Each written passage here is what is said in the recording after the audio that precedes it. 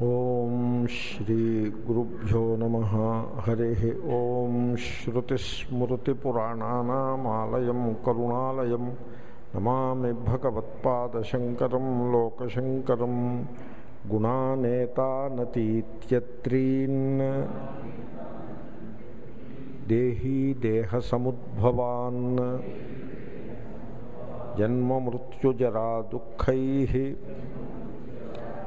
విముక్తో మృతమశ్నుతే గడిచిన శ్లోకంలో ఏం చెప్పారంటే మద్భావం శోధిగచ్చతి. అట్టివాడు నా స్వరూపమును పొందును. మద్భావం అనగా నేను ఏదై ఉన్నానో అది వాడు అగును అని అర్థం. ఇప్పుడు మన మన దేశానికి ఇంతకుముందు ప్రైమ్ మినిస్టర్ గారు ఉండేవారు మన్మోహన్ సింగ్ గారు ఉండేవారు. ఆయన రిజైన్ చేస్తారు. రాష్ట్రపతి దగ్గరికి వెళ్ళి రిజైన్ చేశారు. రిజైన్ చేసిన తర్వాత రాష్ట్రపతి ఏం చేశారు? మోడీ గారిని పిలిచి ఆయన చేత పదవీ ప్రమాణ స్వీకారం చేయించారు. చేయిస్తే ఏమవుతారు ఈయన? మన్మోహన్ సింగ్ గారు ఏదై ఉన్నారో ఈయన అది అవుతారు. అర్థమైందండి మీకు? మద్భావం శోధిగచ్చతి అంటే అర్థం అది. అంతే తప్ప ఆయనకి ఈయనకి భేదాలు ఉంటాయి అదేం కాదు. ఏది నేనై ఉన్నానో అది అట్టివాడు అగును. అంటే దీని అర్థం ఏంటంటే దీన్ని ఏ విధంగా అర్థం చేసుకోవాలంటే పరమేశ్వరుడు అనేది ఒక డూ కాదు. ఊరికే మాట వరుసకి డూ అంటాము. ఏదో ఒక ప్రత్యయం పెట్టి పలకాలి కాబట్టి డూ డూ మూవులు ప్రథమా విభక్తి చదివారా చిన్నప్పుడు? కాబట్టి రామహ ఉందనుకోండి దానికి ఏమనాలి? రాముడు అంటారా? రాము మూ అంటారా? రాము ఊ అంటారా? రాము లు అంటారా? రాముడు అంటారు. అలాగే ఈశ్వర అని ఉంటే ఏమనాలి ఈశ్వరుడు అని అంటారు. ఎప్పుడైతే డూ అంటారో వెంటనే మానవుని యొక్క బుద్ధి ఎలా ప్రసరిస్తుందంటే ఆ ఈశ్వరుడనే ఆయన ఒక పెద్ద మనిషి అని ఆరంభం అవుతుంది ఎప్పుడైతే వీడి బుద్ధిలో ఈశ్వరుడు ఒక పెద్ద మనిషి అనే అభిప్రాయం ఏర్పడిందో సరే కానీ వాడు ఏదో అలా అనుకుంటున్నాడు ఆరంభావస్థలో అలా ఉండని తప్పే ఉంది తర్వాత మెల్లగా తెలుసుకుంటాడులే అని ఆయన్ని ఒక పెద్ద మనిషిగా నాలుగు చేతులు అలాగ విష్ణు రూపంగానో లేకపోతే మూడు కళ్ళు శివరూపంగానో అలాగా అలా భావన చేయవచ్చు. మీరు ఆ రకంగా భావన చేయండి అని ఒక అభ్యనుజ్ఞను ఇస్తారు. అభ్యనుజ్ఞ అంటే పర్మిషన్ ఇస్తారనమాట కానివ్వండి మీరు అలాగే కానివ్వండి అని. సో ప్రస్తుతంలో మీరు అలా భావన చేసుకోండి అని. దాని అర్థం ఈశ్వరుడు అంటే అంతే అని కాదు. కాబట్టి ఈశ్వరుడు ఉపాసన కొరకై ఒక రూపాన్ని కలిగి ఉన్నట్టుగా స్వీకరించబడినా యథార్థంగా ఈశ్వరునకు రూపమేమీ ఉండదు. ఈశ్వరుడు ఒక తత్వము. ఈశ్వరుడు అనేది ఒక తత్వము. ఒక రూపము కాదు. సో నతే రూపం నచాకార నాయుధాని నచాస్పదం ఉపాసకానాం కార్యత్వ ఉపాసకానాం కార్యార్థం బ్రహ్మణో రూపకల్పన. ఆ శ్లోకం నేను చదువుతుండగా మీకు ఏమైనా కొంత అర్థం వచ్చిందా? ఏమీ రాలేదా? నతే రూపం. తే రూపం నా. హే ఈశ్వర నీకు రూపము లేదు. నచ ఆకార. ఒక భౌతికమైనటువంటి ఆకృతి నీకు లేదు. నాయుధాని కత్తులు కటార్లు మొదలైనటువంటి ఆయుధాలు కూడా నీకేమీ లేవు. నచ ఆస్పదం. వైకుంఠము కైలాసము అక్కడ బిల్డింగు దానికి నాలుగు అంతస్తులు అలాగంటే రూపం కూడా నీకేం లేదు. ఒకప్పుడు మహారాజు గారి బిల్డింగు ఒకప్పుడు చాలా గొప్పది. ఈ మధ్యన మోడర్న్ స్ట్రక్చర్స్ వచ్చినప్పుడు మహారాజు గారి యొక్క బిల్డింగులు ఎలా ఉంటాయి? వెలవెలబోతాయి ఇప్పుడు కొత్త కొత్త మోడర్న్ స్ట్రక్చర్స్ ముందు పాతకాలపు బిల్డింగ్స్ వాటికి వెళ్ళి ఇప్పుడు కింగ్ కోటీలో ఉండే బిల్డింగ్ ఏం విలువ ఉంటుంది ఏం విలువ ఉండదు. ఎందుకంటే దాని చుట్టూ బ్రహ్మాండమైన బిల్డింగ్స్ డెవలప్ అవుతాయి. ఎనీవే. కాబట్టి ఓ బిల్డింగ్లో నువ్వు ఉంటావని అలాగేమీ లేదు. ఇదంతా కూడా ఉపాసకుల యొక్క సౌకర్యం కొరకు ఆ పరమాత్మకు ఒక రూపమును కల్పించుట అయినది. ఇది ఎందుకు చెప్తున్నానంటే నేను ఈశ్వరుడికి ఒక విశిష్టమైన రూపము ఉన్నది అని మీరు ఫిక్స్ చేసి పెట్టినట్లయితే జీవుడికి కూడా ఓ రూపం ఉంటుంది. వీడికో రూపము ఆయనకో రూపము ఉంటే వీడు ఆయన అగుట ఎట్లు సంభవమగును?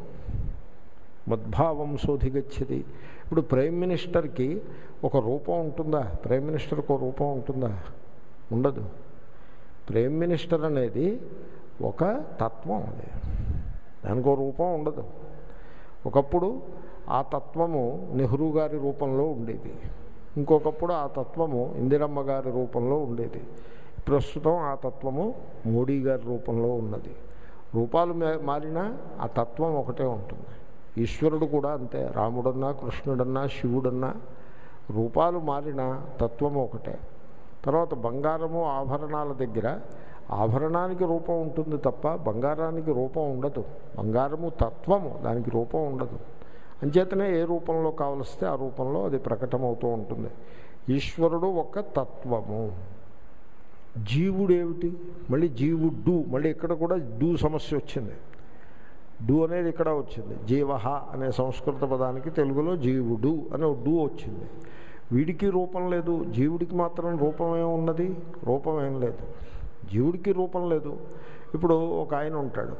ఆయన తండ్రి ఒక పిల్లవాడికి తండ్రి ఒక అమ్మాయికి భర్త ఒక లేడీకి భర్త ఇంకొక తల్లికి కొడుకు ఇప్పుడు ఆయన ఇన్ని ఇన్ని స్టేచర్లని ఇన్ని స్టేటస్లని ఆయన పోషిస్తూ ఉంటాడు. ఆయనే కొడుకు ఆయనే తండ్రి ఆయనే సోదరుడు ఇలాంటివన్నీ ఉంటాయి. సపోజ్ తండ్రి అనే దానికి ఒక ఫిక్స్డ్ రూపం ఉందనుకోండి. అప్పుడు అవి తండ్రి అవుతాడు కానీ ఇంకేది అవ్వడానికి వీలుండదు. కదా? అర్థమవుతున్నాయేటండి దృష్టాంతాలు? మీరు ఇక్కడ పురాణ కాలక్షేపానికి ఏం రాలేదు కదా? నేను ఊరికే అలా గుర్తు చేస్తున్నాను. నేను పురాణం చెప్పను. నాకు చేత కాదు కూడా పురాణం చెప్పడం. పురాణం చెప్పడంలో దిట్టలు ఉన్నారు లోకంలో. మా పక్కన ఆర్కెస్ట్రా కూడా పెట్టుకుని పురాణాలు చెప్తూ ఉంటారు. ఆ సందర్భం వేరు ఈ సందర్భం వేరు. ఇక్కడ కేవలము తత్వ విచారమే ఉంటుంది. భగవద్గీత కదా మరి? భగవద్గీత శంకర భాష్యమును. అదే దాని లక్షణం అది. ఎనీవే కాబట్టి ఈశ్వరుడు అనేది ఒక తత్వము జీవుడు కూడా ఒక తత్వము. తత్వము అంటే ఒక రియాలిటీ ఒక వస్తువు ఒక డూ కాదు అది. ఓకే? ఈశ్వరుడనే తత్వము యొక్క స్వరూపమేమి అని మీరు అడిగేది. ఇప్పుడు బంగారం అనేది ఒక తత్వము అది ఒక రూపము కాదు ఒక తత్వము. నెక్లెస్ అనేది రూపమైంది తప్ప బంగారం ఒక తత్వము. ఏమిటండి బంగారం అనే తత్వం అది ఏమిటని అడిగితే మీరు ఏమని చెప్పాలి? చూడండి అది తీగలుగా సాగేటువంటి గుణము కలిగిన రేకులుగా సాగేటువంటి గుణము కలిగిన ఒక లోహము. చుట్టూ ఉండే అట్మాస్ఫియర్లో ఉండేటువంటి తేమ ఏది గలదో దానితోటి రియాక్ట్ కాని ఒక మెటల్ నోబుల్ మెటల్. మెటల్ అనేది తత్వాన్ని బోధిస్తుంది. మెటల్. మెటాలిక్ బాండ్ అని ఒకటి ఉంటుంది. అది ఉన్న వాటికే మెటల్ అనే లక్షణం ఉంటుంది. అదొక తత్వాన్ని బోధిస్తుంది. Iron metal nickel metal cobalt metal gold metal అదొక తత్వము. కాబట్టి బంగారం అనేది తత్వము. అలాగే ఈశ్వరుడు అనేది ఒక తత్వము. జీవుడనేది ఒక తత్వము. ఏమిటి? ఈశ్వరుడు తత్వము అంటే ఎటువంటి తత్వము? చైతన్య స్వరూపుడు. ఈశ్వరుడు జ్ఞానస్వరూపుడు. సత్యం జ్ఞానం. అది ఈశ్వరుడు. అనంతం బ్రహ్మ. అది ఈశ్వరుడు. అంటే మరి ఏమన్నా నాలుగు చేతులు ఉంటాయి కిరీటం పెట్టు అది ఊరికే ఉపాసన కోసం తాత్కాలికంగా అభ్యనుజ్ఞ ఇచ్చిన రూపము. అదే పెర్మనెంట్ కాదు. అదే పెర్మనెంట్ అయితే చాలా అసందర్భంగా ఉంటుంది. అనేక వైరుధ్యాలు వచ్చేస్తాయి సో కాబట్టి ఆ వైరుధ్యాల్లోకి వెళ్ళొద్దు. కనుక ఈశ్వరుడు అనేది ఒక తత్వము. ఏమిటా తత్వము? జ్ఞానం. సత్యం జ్ఞానం. బ్రహ్మ. మరి జీవుడేమిటి? జీవుడు కూడా ఒక తత్వము. ఎటువంటి తత్వము? జ్ఞానం. జీవుడు కూడా జ్ఞానస్వరూపుడు. ఎందుకని?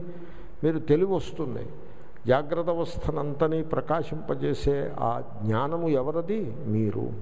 స్వప్నావస్థని ప్రకాశింపజేసేటువంటి జ్ఞానము మీరు. సుషుప్తి అవస్థను ప్రకాశింపజేసేటువంటి జ్ఞానము మీరు. మీ స్వరూపము జ్ఞానము. ఈశ్వరుడు స్వరూపము జ్ఞానము. ఆయన స్వరూపం కూడా జ్ఞానమే. మీ స్వరూపం కూడా జ్ఞానమే.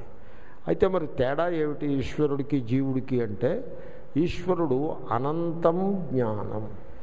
సత్యం జ్ఞానం అనంతం. ఆయనకు హద్దులు లేవు. హద్దులు అనేవి అసలు ఏమిటి ఉంటాయి? ఏమిటి హద్దులు ఉంటాయి? అంటే దేశము కాలము అనే హద్దులు ఆ ఈశ్వరునకు లేవు.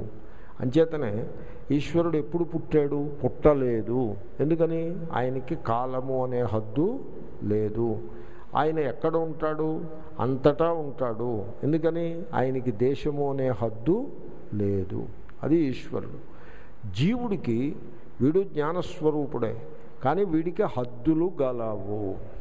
ఏం హద్దులు ఉన్నాయి దేశము యొక్క హద్దు ఉన్నది పద్మారావు నగర్లో ఉన్నాడు అనుకోండి హైదరాబాదులో లేడు విజయవాడలో లేడు. వెరాజ్ శ్రీ మహావిష్ణువు పద్మారావు నగర్లోనూ ఉన్నాడు హైదరాబాదులోనూ ఉన్నాడు. విజయవాడలో కూడా ఉన్నాడు. వెరాజ్ జీవుడు వీడు ఇక్కడుంటే ఇంకెక్కడ లేడు. అది దేశం యొక్క హద్దు. కాలం యొక్క హద్దు కూడా కలదు జీవుడికి. ఎందుకని? వీడు పుట్టి గిట్టుచున్నాడు. సపోజ్ ఈ హద్దులు జీవునికి ఉన్న హద్దులు ఇవి యథార్థములా కావా? ఇవి యథార్థములే అంటే ద్వైతం. దాని పేరే ద్వైతం. ఇవి యథార్థములు కావు. ఉపాధి చేత కల్పితములు. అదెలాగా? చూడండి దేహమునకు ఉన్న హద్దు పుట్టుక గిట్టుట అనే హద్దు అది ఆ జ్ఞానానికి మీరు ఆరోపించినారు. ఇది ఎలా ఉందంటే నెక్లెస్ పుట్టి గిట్టినప్పుడు ఆ పుట్టుట గిట్టుట బంగారానికి ఆరోపించినట్లు బంగారానికి పుట్టుట గిట్టుట ఉండదు. బంగారం పుట్టదు గిట్టదు. నెక్లెస్ పుడుతుంది గిట్టుతుంది. సో అదేవిధంగా దేహము పుట్టి గిట్టును. వెరాజ్ ఆ దేహంలో ప్రకటమవుతూ ఉండే చైతన్యమునకు పుట్టుక లేదు గిట్టుట లేదు. అలాగే రెండవ హద్దు కూడా. ఈ ప్రకరణం అంతా మనం చాలాసార్లు చూసినాము. కాబట్టి ఎప్పుడైతే జీవుడు అనేటువంటి తత్వము చైతన్యమే జ్ఞానమే దాని ఎందు అజ్ఞానము చేత ఈ హద్దులు కల్పించబడినవి అని మీరు ఆ హద్దుల్ని చెరిపేశారనుకోండి జ్ఞానంతో అప్పుడు ఏమవుతుంది ఈ జీవుడికి ఆ ఈశ్వరుడికి భేదం అనేది తొలగిపోతుంది. దాని పేరే మద్భావం శోధిగచ్చతి. ఓకే? మద్భావం శోధిగచ్చతి. అంటే ఏంటి ఇప్పుడు మీరు చైతన్య స్వరూపులై ఉన్నారు. మీరు జ్ఞానస్వరూపులే ఉన్నారు. అది మీరు అర్థం చేసుకోవాలి. ముందు మిమ్మల్ని మీరు అర్థం చేసుకోవాలి. మీరు దేవుడి గురించి పెద్ద పెద్ద కబుర్లు చెప్తే ఏం ఉపయోగం లేదు. దేవుడు ఇక్కడ ఉన్నాడు? అక్కడ ఉన్నాడు. దేవుడు మీ మేనత్త కొడుకో మేనమావ కొడుకో కాదు.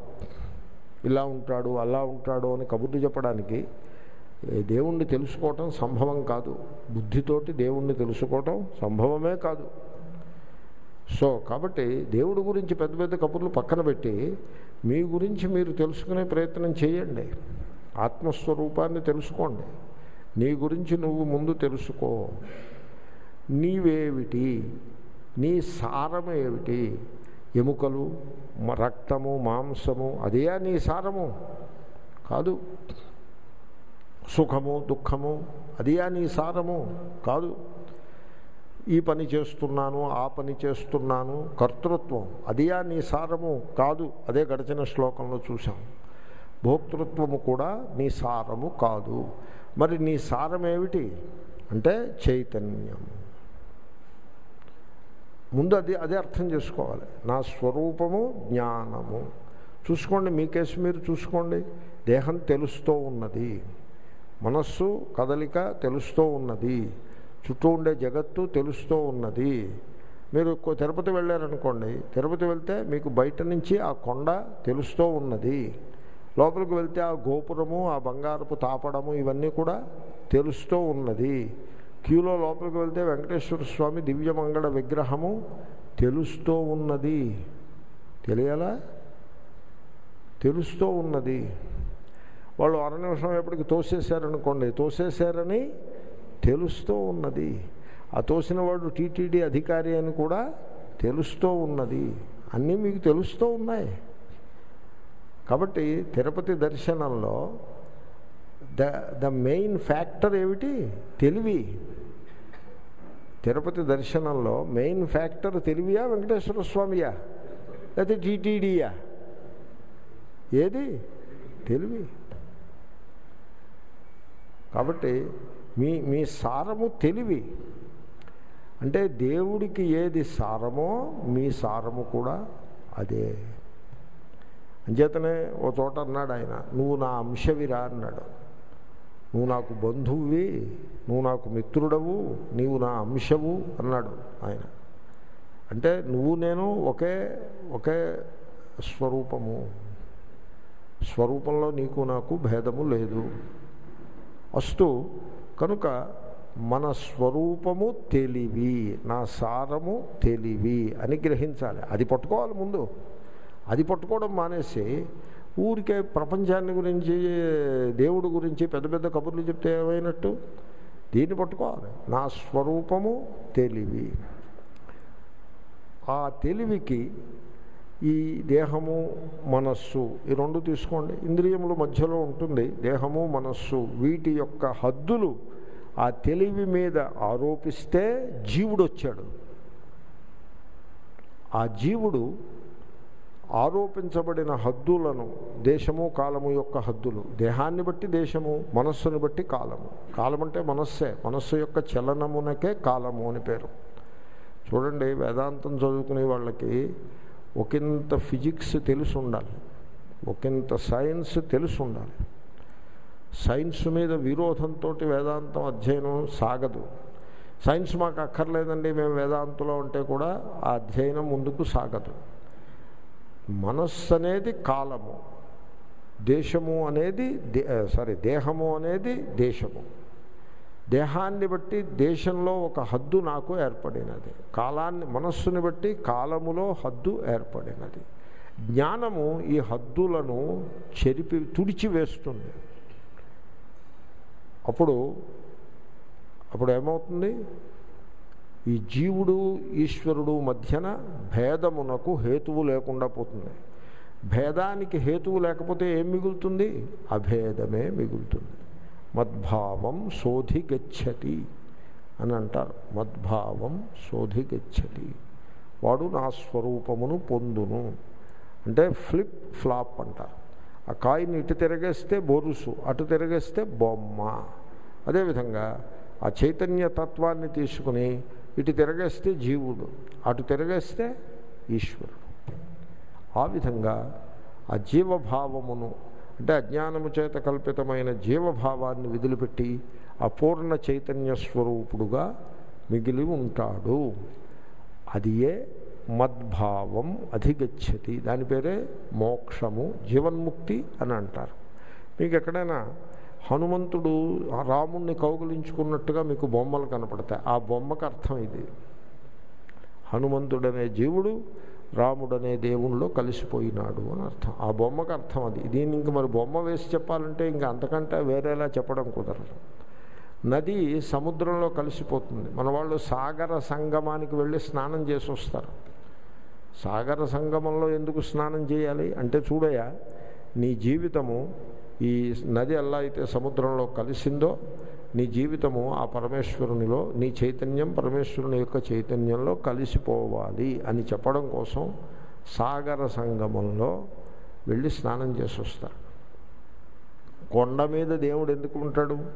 నేల మీద ఉన్నప్పుడు ఇది నా ఇల్లు అది నీ ఇల్లు మన కాంపౌండ్ వాళ్ళు ఇది రోడ్డు ఇది మా పొలం అది వాళ్ళ పొలం ఇది మా నివేశన స్థలము అది వాళ్ళ నివేశన స్థలము అని ఇన్ని భేదాలు మనం కల్పించి కూర్చుంటాం. అదే కొండ మీదకి ఎక్కి అలా చూస్తే ఏముంటుంది అక్కడ? అన్ని భేదములను తన ఎందు కలిపేసుకున్నటువంటి అనంతమైన ఆకాశం ఉంటుంది. అనంతత్వానికి చిహ్నంగా అంటే అనంతత్వం అంటే హద్దులను చెరిపేసినటువంటి విశాలమైన ఆకాశం కొండ మీద మీకు దర్శనమిస్తుంది. అందుకోసం అక్కడో దేవాలయాన్ని కట్టారు. దేవుడు అంటే అగో అదే దేవుడు రా అని. కాబట్టి సో మద్భావం శోధిగచ్చతి. పాఠం అయింది ఇది. అయినా ఇంకోసారి గుర్తు చేశాను. ఎందుకంటే వన్ వీక్ అయిపోయింది ఆ మాట చెప్పి. అయితే ఇప్పుడు మన ముందున్నటువంటి లక్ష్యం ఏమిటి? ఇది భగవద్గీత ఇది. ఇక్కడ మోక్ష శాస్త్రం అంటారు దీన్ని. ఇది మన కోరికలు తీర్చుకోవడానికి ఉపయోగించే శాస్త్రం కాదు ఇది. ఇది మోక్ష శాస్త్రం సో ఈ శాస్త్రాన్ని ఉపయోగించి ఇప్పుడు భగవద్గీతకి ఏదో మూడో అధ్యాయం పారాయణ చేస్తే కూతురు పెళ్ళి అవుతుంది నాలుగో అధ్యాయం పారాయణ చేస్తే కోడలు గ- గర్భవతి అవుతుంది ఆరో అధ్యాయం పారాయణ చేస్తే గర్భవతి కొడుకు పుడతాడు. ఇలాగంటి మాటల కోసం వచ్చిన శాస్త్రం కాదు అది అలా అసలు దాన్ని చూడకూడదు. గీతాశాస్త్రం అనేది మోక్ష పురుషార్థం కోసం వచ్చింది. అంటే ఇప్పుడు మాకు మోక్షానికి కంగారు లేదండి. మేము ఏదో సంసారంలో బాగానే కాలక్షేపం చేస్తున్నాం. కొంత డబ్బు మూటగట్టి ఏదో కొడుకులు కూతుళ్ళతో మనవాళ్ళతోటి మనవరాళ్ళతోటి ఓ ఇళ్ళు వాకిళ్ళు నౌకర్లు చాకర్లు వీళ్ళతోటి మేము కాలక్షేపం చేస్తున్నాం. ఇప్పుడు మాకు మోక్షానికి కంగారు లేదని మీరు అన్నట్లయితే మీకు భగవద్గీత మీకు ఉపయోగపడే గ్రంథం కాదు ఇది. అయితే ఒకటి సాయంకాలం పూట ఖాళీగా ఉన్నాం కదా ఆయన ఏదో వాగుతాడు వినోద్దాం. అని మీరు వస్తే యు ఆర్ వెల్కమ్ మనకేం అభ్యంతరం లేదు. కానీ మీకు ఉపయోగపడదు ఇది. ఇది మోక్షశాస్త్రం. మోక్షము అంటే జీవన్ముక్తి. నా స్వరూపము పూర్ణము. దేవుడంటే మీకు సరిగ్గా అర్థం కాదేమో అని పూర్ణము అని అంటున్నా. నా స్వరూపము పూర్ణము అని తెలుసుకోవడము. ఇక్కడ జీవిత ఇక్కడ లక్ష్యం అది. అది ఎలాగ తెలుసుకోవాలి? తెలుసుకుంటే జీవుడు దేవుడైపోతాడు. మద్భావం శోధిగచ్చతి. కైసా how how it is done? భాష్యకారులు కథమధిగచ్చతి ఇది ఉచ్యతే. సో జీవుడు ఆ ఈశ్వర భావాన్ని ఏ విధంగా పొందు పొందును అనే ప్రశ్న ఉదయిస్తుంది. సో ఎందుకంటే నా యందు జీవభావము ఉన్నది అంటే అర్థం ఏంటో తెలుసిన? నా యందు ఆ అల్పత్వము ఉన్నది అని అర్థం. ఆ అల్పత్వము ఉన్నది. ఇవి చాలా వెయిటీ మ్యాటర్స్ చాలా విలువైన బరువైన విషయాలు. నా ఎందు అల్పత్వము గలదు. ఇప్పుడు మీరు అనొచ్చు ఈ అల్పత్వాన్ని గురించి కంగారే ఉందండి ఇది తర్వాత చూద్దాం అని మీరు అన్నారనుకోండి ఓకే.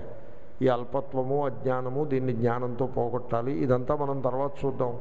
ఇప్పుడు మీకు అర్జెంటుగా ముందు ప్రయారిటీ ఏమిటో చెప్పండి. ప్రయారిటీ ఏమిటో చెప్పండి. ఇప్పుడు మనిషి ప్రయారిటీ ఏమనుకుంటాడంటే నాకు భోగము కావాలి అది ప్రయారిటీ.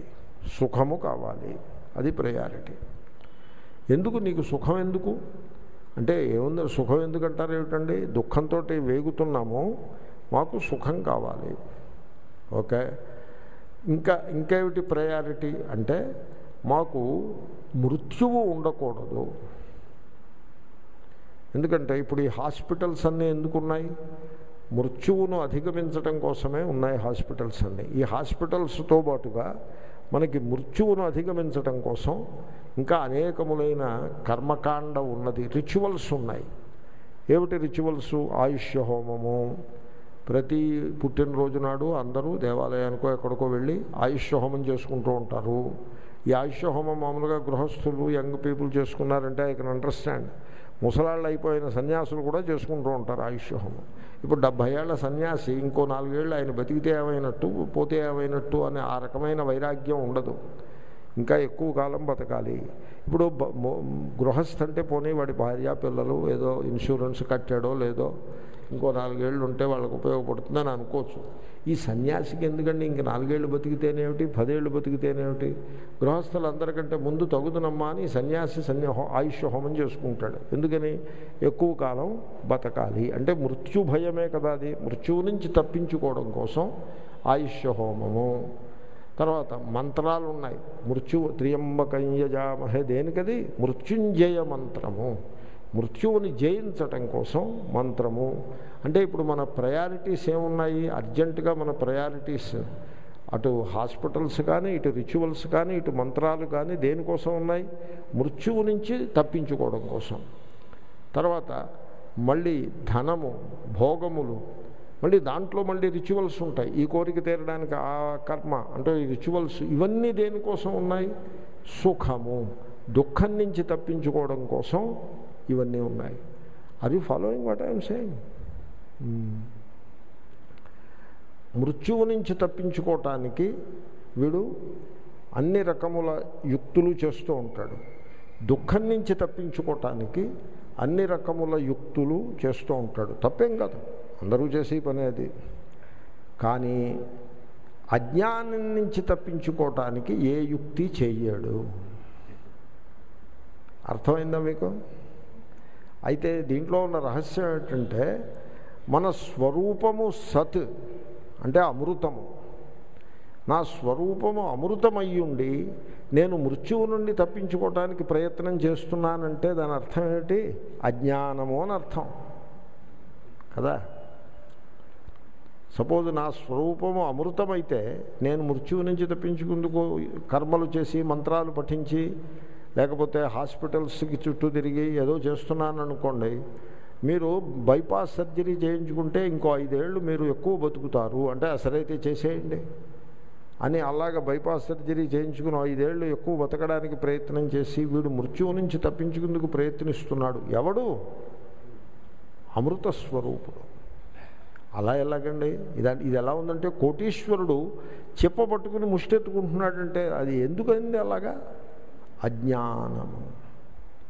తర్వాత వీడి స్వరూపమేమి? ఆనంద స్వరూపుడు దుఃఖం నుంచి తప్పించుకోవటానికి మహా తంటాలు పడుతున్నాడు అంటే అలా ఎందుకు వచ్చింది?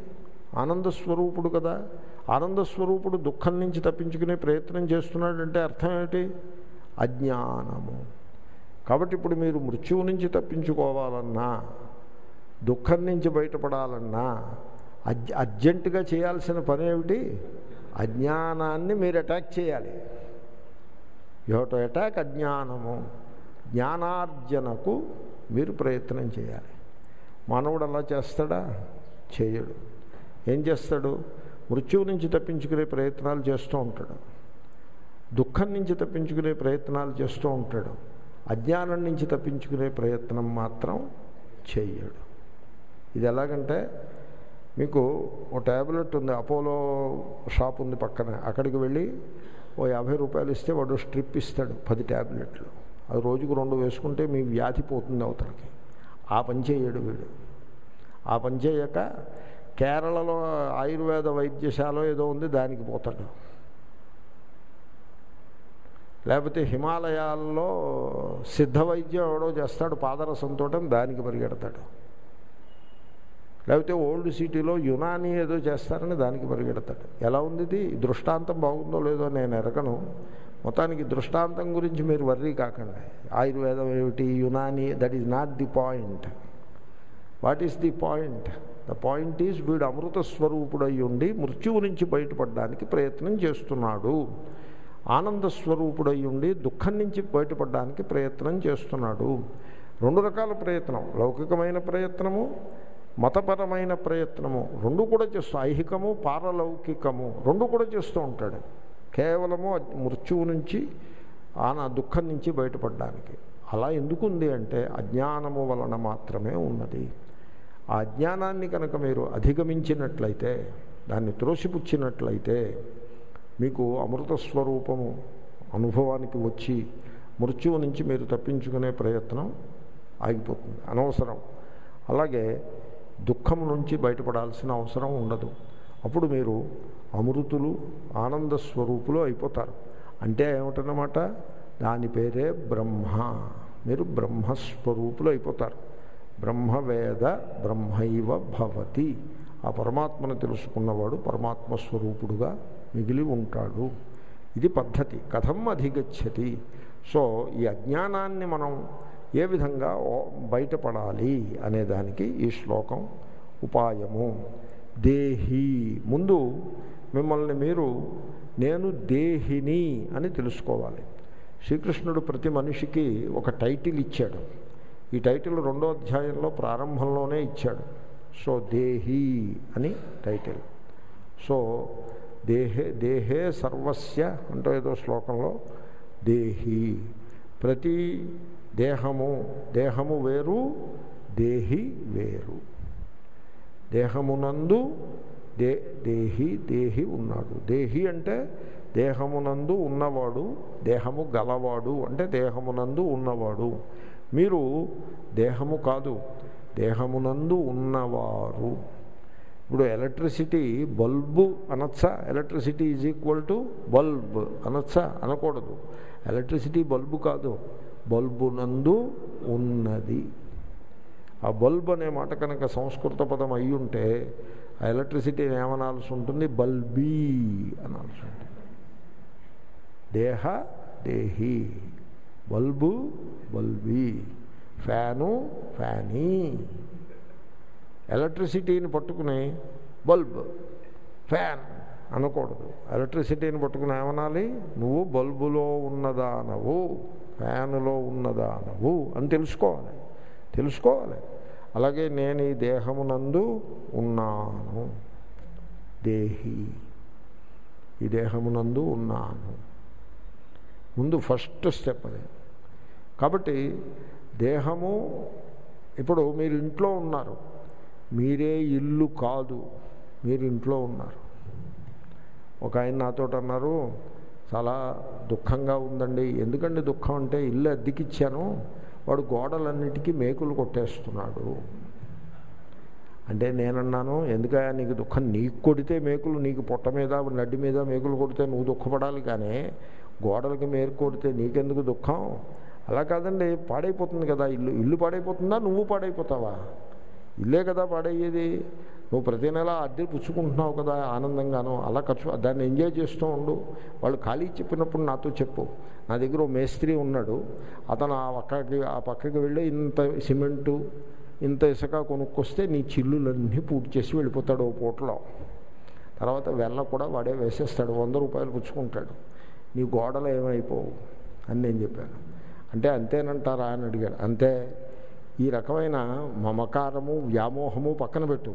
అద్దె డబ్బులు కావాలి. వాళ్ళు మేకు కొట్టకూడదని నువ్వు చెప్పొద్దు. Don't don't do like that ఈ దేహము ఇది ఒక కొంప. స్వంత కొంప కాదు ఇది అద్దె కొంప.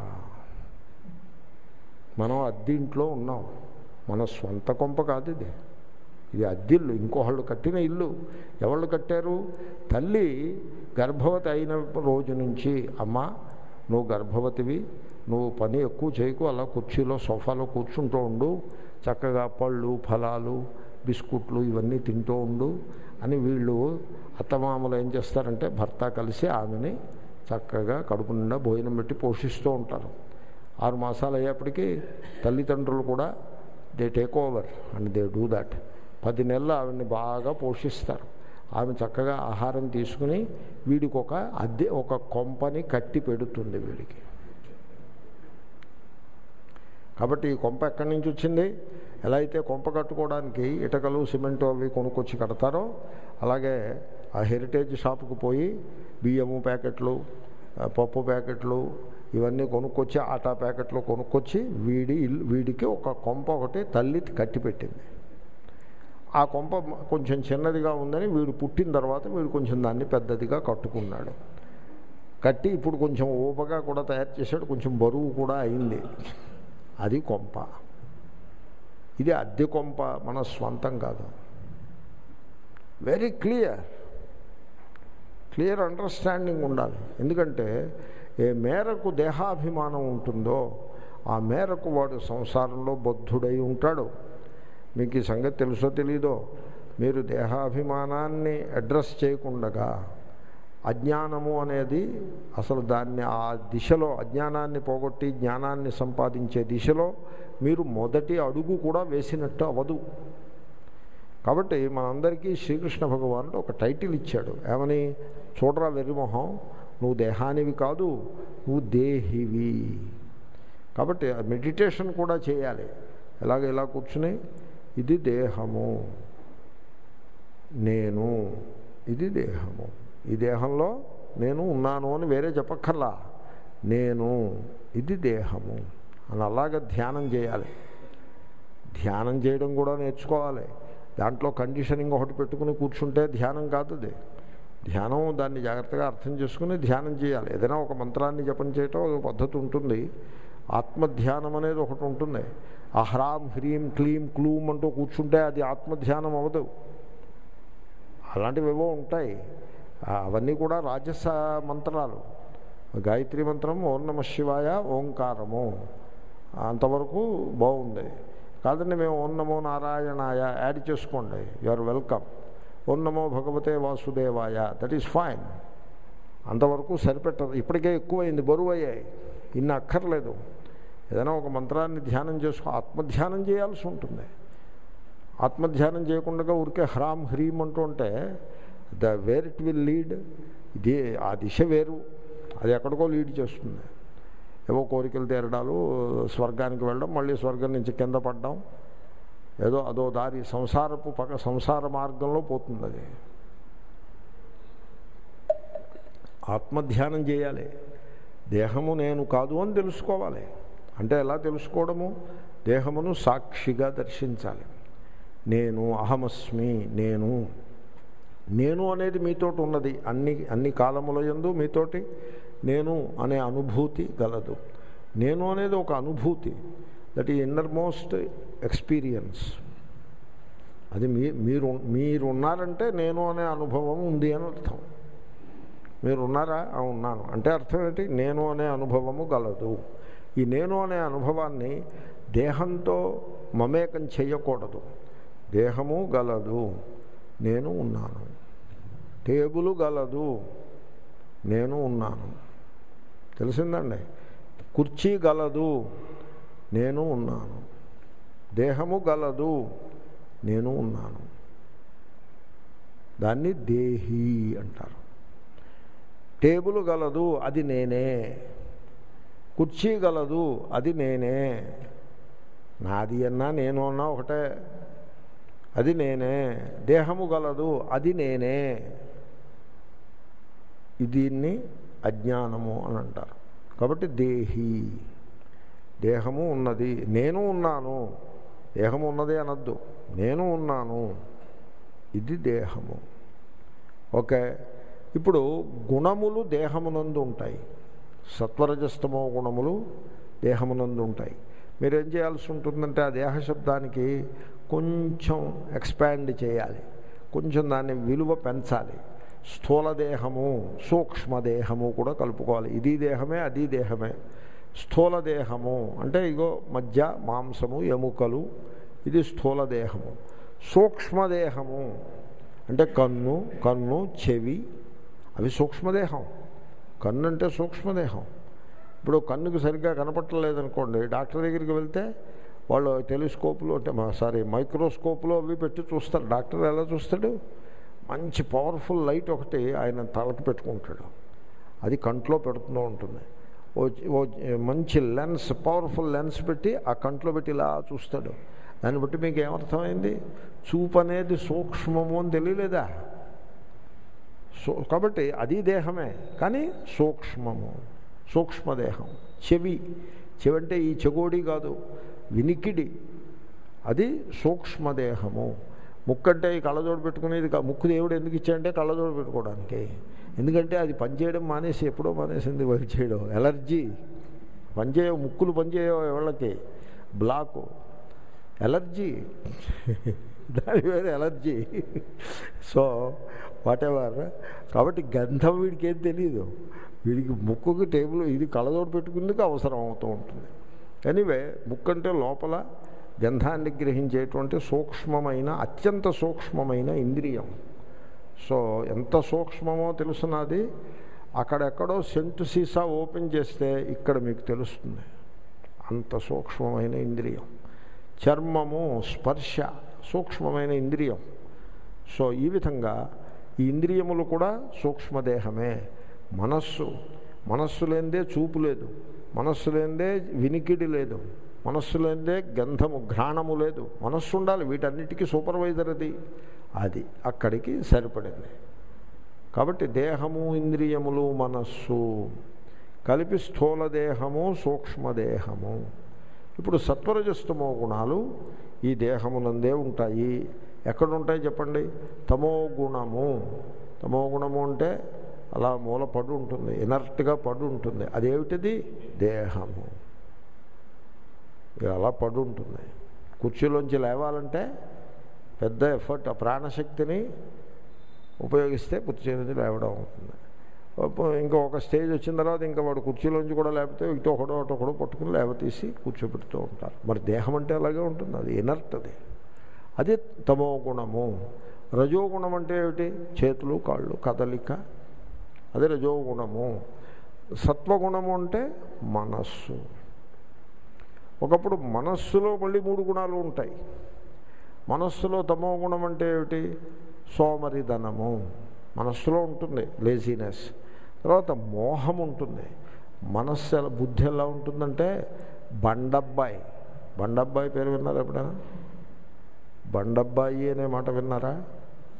That is what the guy is is a బండబ్బాయి అంటే వాడి బుద్ధికి సూక్ష్మమైన విషయాల్ని తెలుసుకునేటువంటి శక్తి లేదు. బండబ్బాయి అది తమో గుణము.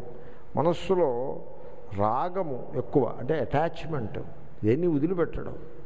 అలా పట్టు కూర్చుంటాడు. ఇంట్లో వాళ్ళు ఎవరిని వాళ్ళ బతుకు వాళ్ళని బతకనివ్వడం. వాళ్ళ జీవితాల్లో ప్రవేశించి వాళ్ళ ప్రతి అంశంలోనూ నిన్న ఇరవై రూపాయలు ఇచ్చాను ఏం ఖర్చు పెట్టావు? అని అడుగుతాడు.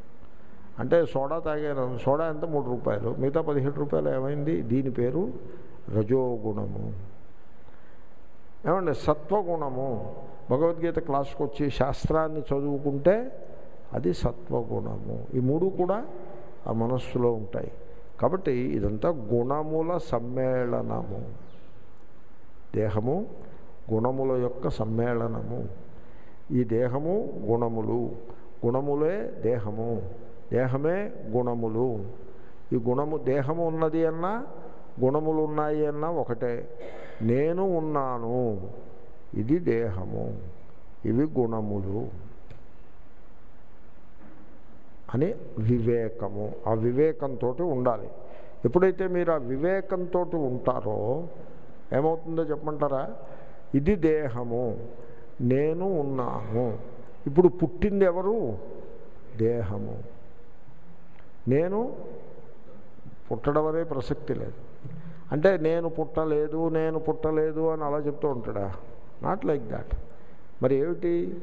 నేను పుట్టాను అనే భ్రాంతి కలగదు. ఆ ఐడియా రాదు. నేను పుట్టాను అనే ఐడియా రాదు. అలాగా. ఇప్పుడు ఇమ్మిగ్రేషన్లో అడుగుతారు. డేట్ ఆఫ్ బర్త్ అని అడుగుతారు. అంటే అక్కడ వాటితోటి మేము సాక్షి స్వరూపులము ఇత్యాదులు చెప్పకూడదు. వాడు he will keep your side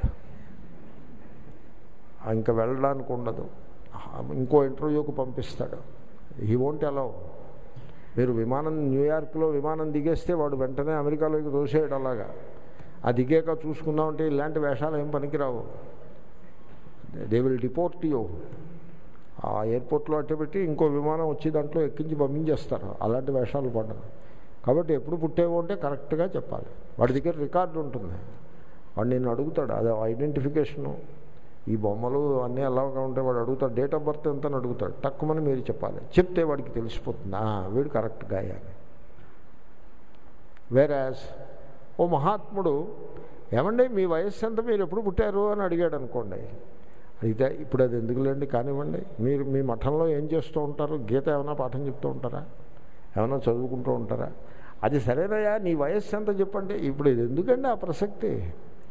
అది అనవసరం. మీరేమైనా శాస్త్రాన్ని విద్యార్థులకు బోధిస్తున్నారా? దాని గురించి చెప్పండి.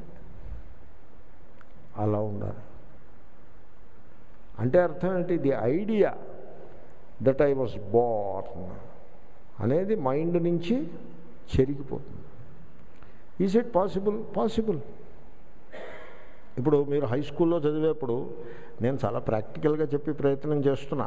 I hope you appreciate my effort లేకపోతే ఏమిట్రా వీడు సాగతిస్తున్నాడు అనుకుంటున్నారో మరి భగవంతుడికి తెలియాలి మీరు ఏమనుకుంటున్నారో. హై స్కూల్లో చదువుతున్నారు. హై స్కూల్లో చదివేప్పుడు అగో ఈ జిల్లా పరిషత్ high school I'm a student of that high school అనే ముద్ర ఉంటుంది. యానివర్సరీ అయ్యేది హై స్కూల్ యానివర్సరీ. మాకు అసలు నిద్ర ఆహారం ఉండేవి కావు. ఆ యానివర్సరీ టైంలో ఆ హై స్కూల్లోనే పడి దొల్లేస్తూ ఉండేవాళ్ళం. ఎందుకంటే మా హై స్కూల్ అది. ఐఎమ్ ఎ స్టూడెంట్ అనే అభిమానము ఎంత గట్టిగా ఉంటుంది. అభిమానము అంటే దాంతో మమేకమైపోవడం. హై స్కూల్ వీడు ఎస్ఎల్సి పాస్ అయ్యి కాలేజీలో జాయిన్ అవుతాడు. హై స్కూల్ స్టూడెంట్ అని అనుకుంటాడా? ఆ థింకింగ్ ఏమవుతుంది? చెరిగిపోతుంది. I'm a college student. Different status college pass అయ్యి ఫస్ట్ క్లాస్లో పాస్ అయ్యి యూనివర్సిటీలో జాయిన్ అవుతాడు. అప్పుడు కాలేజీ గురించి నేను కాలేజీ స్టూడెంట్ని అనుకుంటాడా? అనుకోడు. ఆమె యూనివర్సిటీ స్టూడెంట్. అమ్మాయి పెళ్ళి పెళ్ళి చేసుకుంటుంది. అత్తవారింటికి వెళ్తుంది. ఏమనుకుంటుంది? వీడు నా మొగుడు ఇది నా ఇల్లు అనుకుంటుందా? లేకపోతే నా వాళ్ళందరూ ఆ పుట్టింట్లో ఉన్నారు అక్కడ ఉంది మా ఇల్లు అనుకుంటుందా? ఏమనుకుంటుంది? కొత్త ఇంటికి వెళ్ళి మూడు రోజులు కాకమునిపే ఇది నా ఇల్లు వీడు నా భర్త. నా భర్త అంటే నేను చెప్పినట్టుగా నడుచుకునేవాడు అని అర్థం. వాటెవర్ వాటెవర్ కొంచెం ముందు వెనకాను ముందు వెనకాను. ముందు వెనక ముందు వెనక అంటే ముందు కొంచెం భర్త కొంత డామినేట్ చేసినా eventually he will fall in line అర్థం. అలా అనుకుంటుంది. అంటే అర్థం ఏంటి? నేను ఫలానా ఆ ఇంటికి చెందిన అమ్మాయిని అనే భావన ఏమైపోతుంది? అది చెరిగిపోతుంది. ఎంత ప్రయత్నం చేయాలి చెరిపోయటానికి? ఏమైనా వెళ్ళి పుష్కరాల్లో వెళ్ళి అలా స్నానాలు చేసి రావాలా ఏమన్నానా? చెరిపేయటానికి. ఏమక్కల్లా భావన అన్నది ఫ్లిప్. అట్టు తిరగేసినట్టు అంతే ఇటు నుంచి అటు తిరగేసినట్టు అంతే పోయిందంతే ఆ భావన పోయి ఈ భావన వచ్చేసింది. అలాగే నేను ఫలానా కులం వాడిని అనే భావనలో మనం ఉంటాం. ఆ భావన పోయి నేను మానవ మాతృడను అనే ఒక విశాలమైన భావన రావడానికి రావడం సంభవమా కాదా చెప్పండి మీరు? సంభవం. ఇట్ ఈస్ పాసిబుల్ అలాగే నేను పుట్టాను నేను పుట్టాను నేను పుట్టాను అనే కాన్షియస్నెస్ నుంచి అదొక చేతన. కాన్షియస్నెస్ నేను పుట్టాను అనే కాన్షియస్నెస్ నుంచి పుట్టుకనే ఆలోచనే లేని చైతన్యంలోకి వెళ్ళడము సంభవమా కదా? సంభవం. It is possible it is doable you do that my sincere advice to you is you do that అయితే ఏమవుతుంది? అంటే ఏమిటి మీకు ఐడియా రాదు. నేను పుట్టాను అనే ఐడియా మీ మైండ్లో క్రాస్ అవ్వదు. ఇట్ డజన్ క్రాస్ అయితే మరి నేను పుట్టాననే ఐడియా లేకపోతే మాకు వీసాలు ఇవ్వరు లేకపోతే రేషన్ కార్డులు ఇవ్వరు అని మీరేం బెంగపెట్టుకోవద్దు ప్రాక్టికల్గా అన్నీ నడుస్తూ ఉంటాయి. ప్రాక్టికల్గా ఉంటారు. మూర్ఖంగా ఉండరు కదా. మహాత్ములు మూర్ఖంగా ఏం ఉండరు. ప్రాక్టికల్గా ఉంటారు. నేను పుట్టాను అనే ఐడియా మైండ్ క్రాస్ కాదు. దానివల్ల ఏమవుతుంది? అంటే మీరు మీరు అభ్యాసం చేసి చూస్తే తెలుస్తుంది. మీకు ఏమవుతుందో తెలిసిన మృత్యు భయము ఎగిరి చక్కబోతుంది. మీకు మృత్యు భయం ఉండదు. దేహానికి ఏదో కొంచెం అనారోగ్యాలు అవి ఉంటాయి. దేహానికి వయస్సు ఉంటుంది. దాని డైనమిక్స్ దానికి ఉంటాయి. ప్రకృతి యొక్క డైనమిక్స్ దానికి ఉంటాయి.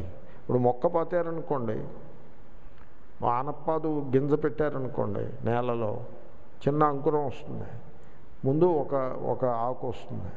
చిన్న ఆకు తొడుగుతుంది. తర్వాత కాండం వస్తుంది. తర్వాత ఇలా ఇలా పాకడం ప్రారంభిస్తుంది. ఓ తాడు కట్టి గోడకి కట్టి పెడితే ఆ గోడ అంతా పాకేస్తుంది.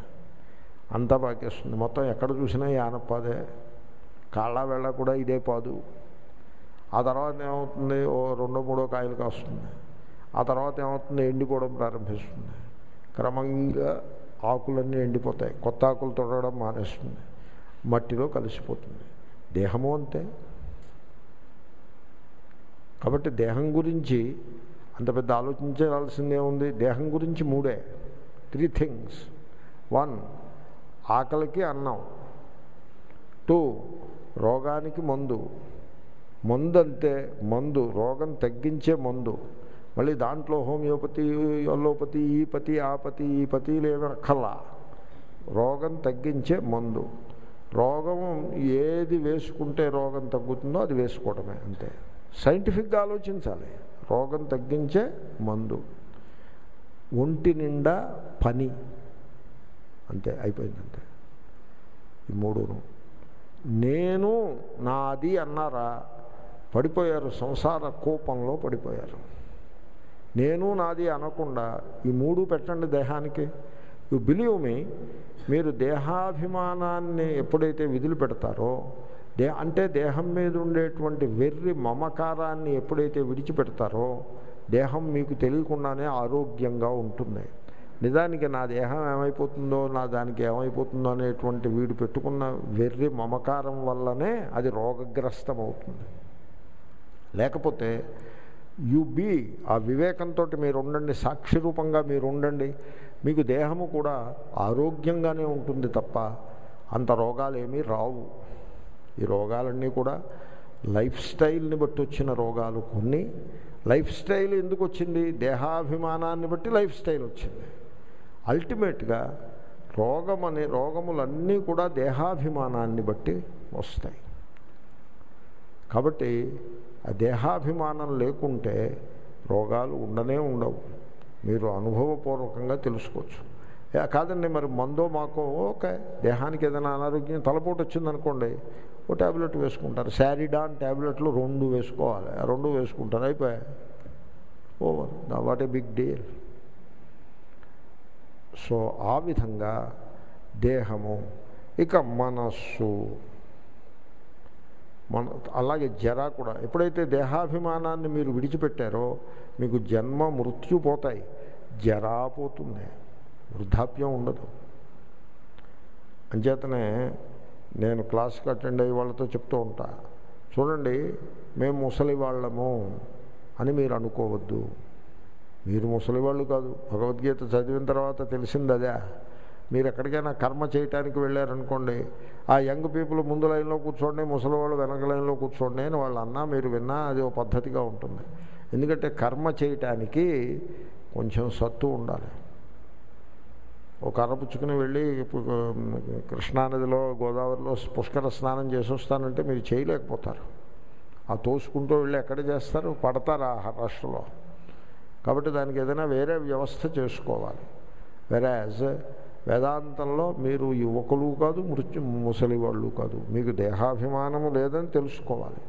కాబట్టి నేను ముసలివాడు ఎవడో తెలుసునా? ఎవడో ముసలివాడు తెలుసునా? నేను ముసలివాడను అనే అభిమానము గలవాడే ముసలివాడు. వెరాజ్ మహాత్ములు ఎలా ఉంటారంటే రిటైర్డ్ బట్ నాట్ టైర్డ్ అన్నట్టుగా ఉంటారు. దేహానికి ఏవో ఉంటాయి. మనం ఉత్సాహంగా మనం మన కార్యాన్ని కర్తవ్యం సాగిపోతూ ఉంటుంది. మనం చేయం అదే పోతూ ఉంటుంది. కాబట్టి నేను ముదుసలిని అనేటువంటి అభిమానము చాలా దుఃఖహేతువు అటువంటి అభిమానము పెట్టుకోకూడదు. ఇదంతా కూడా అజ్ఞానమే. ఇప్పుడు మనవడు తాత అని పిలుస్తాడు. తాత అని పిలవగానే ఈ అంబివలెన్స్ అంటారు. కొంచెం సుఖం కొంచెం దుఃఖం. సుఖం ఏమిటి? నా మనవడు నన్ను తాత అనిపించాడు. అని సంతోషం.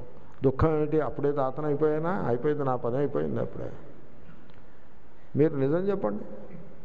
తాత అని అలవాటైపోయిన తర్వాత పర్వాలేదు కానీ తాత అని కొత్తగా పిలిచినప్పుడు ఎలా ఉంటుంది? ఏదో ముళ్ళు పెట్టి కూర్చున్నట్టు ఉంటుందా ఉండదా? అలా ఉంటుంది. అయిపోయిందా? నా బతుకు అయిపోయింది. నేను తాతను అయిపోయానా? సరే ఇంకైతే కానివ్వండి. ఇంకే ఇంక శ్మశానానికి ఎంతో దూరంలో లేనన్నమాట నేను.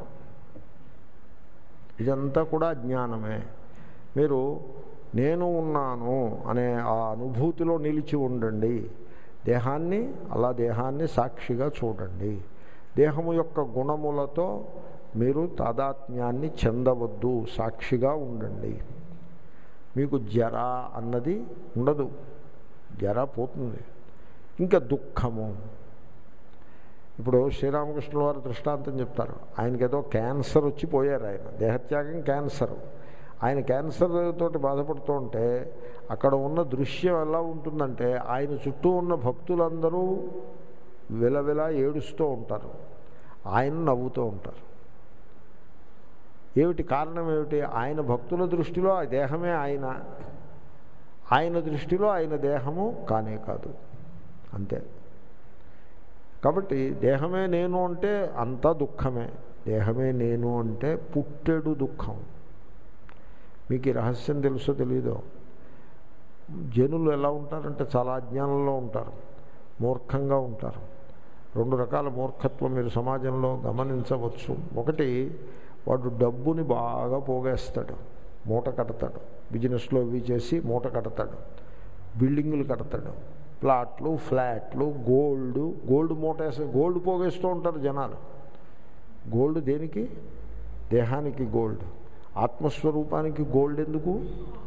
సో ఇవన్నీ మూట కడతారు.